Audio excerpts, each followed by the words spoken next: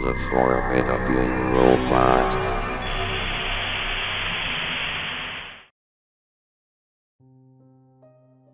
Everyone knows the classic, The Wizard of Oz, which was first released as a movie in the year 1939.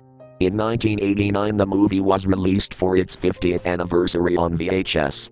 If you happen to find this original VHS tape, or you already own it, then you may already be familiar with a particular scene, which had a lot of controversy.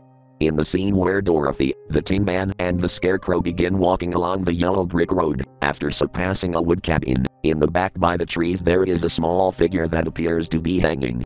The few people who had noticed this all came to the assumption that it is a munchkin who is hanging from one of the branches on the tree. Everyone was told time after time that it was simply a bird because they had filmed it at a zoo and it made it seem more natural. Warner Brothers re released the film in 1998, where they had restored and remastered it all. This is the tape that is most commonly found, and is what played on television.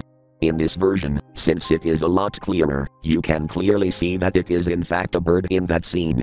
However, if you manage to find a clip of the original and play the two scenes right next to each other, it is very clear that something is off.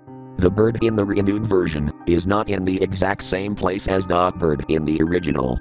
Also, if you look closely, you can see that in the original, there is some kind of rope connected to one of the branches. And yet, after the 1998 version overpowered the original in popularity, people completely decided that it was in fact a bird, not even glimpsing at the very original.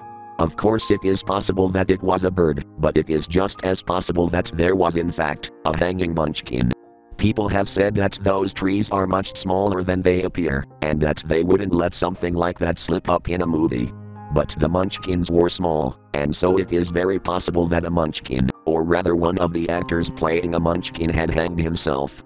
Also, there have been many movies which have let things like that slip, such as The Ghost in Three Men and a Baby. That ghost was actually a poster someone accidentally left there, and even though it was clearly seen, it was left in the film.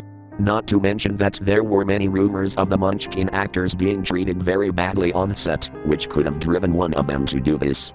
Another hanging Munchkin rumor is that the Munchkin had lost his love, and was so devastated that he took his life. Whether or not you believe in the hanging Munchkin, it is something that brings the whole movie down into a darker light than what it is usually portrayed as.